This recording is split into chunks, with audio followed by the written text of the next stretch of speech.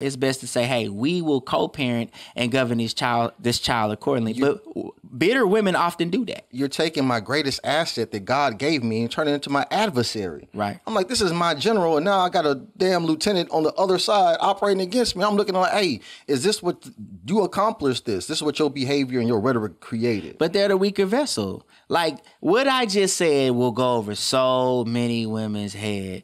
They will not even understand what I just talked about when we talk about co-parenting and good parenting. Women will operate just like children from their emotions. That's how why they dress like that. Everything that they do, they operate off based off of how they feel. And they come in with this attitude like they know what they're talking about. They try they want to be in these positions of authority and leadership, but they they aren't built like that at all.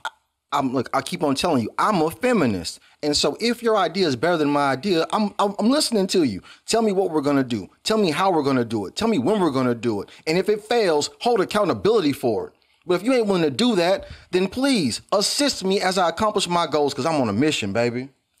Yeah, I mean, I think this podcast is so important because not only are we telling the truth about the world around us and politics, but when it comes to the male and female dynamic, you have two men uh, who are really talking about this in such a way that we're helping men and instructing women because women need instruction. Like if you if you're a woman and you tune into this channel, you're gonna learn, you're gonna gain from it. If you're a man, you're definitely gonna grow. But we need to talk to our women in a manner to teach them and help them grow. You are the pupil, you are the insubordinate, you are not the leader, you are not the teacher.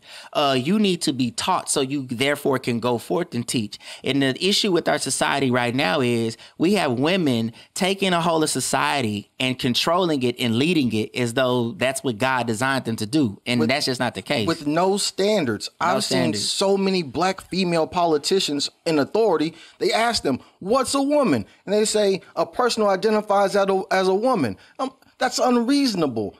And, and in Supreme Court hearings, they're saying the exact same rhetoric. And I'm like, how in the world is this possible? You're a whole woman who creates children, and you'll let a man come and dominate your space. That's not. That's illogical. bonus hole. What do you think about that? What's- wait, wait, It's a bonus hole.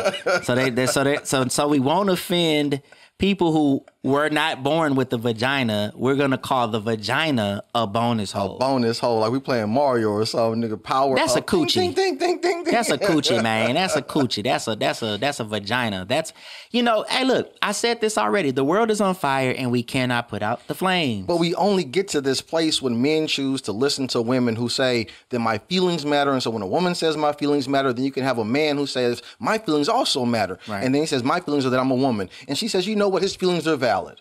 You're like, hold on, wait, wait, wait. If it's man in every male dominated space, that's not allowed. And we got to do this thing. And if you don't do this thing, you're going to get away from us because we're working over here. You were talking about, oh, I hurt my nail. If you don't use your muscles and your testosterone to accomplish this job, then then you have no purpose to the group.